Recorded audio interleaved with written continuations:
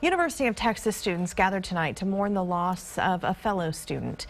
This vigil was held at the UT Tower for 21-year-old Nancy Jane David earlier this evening.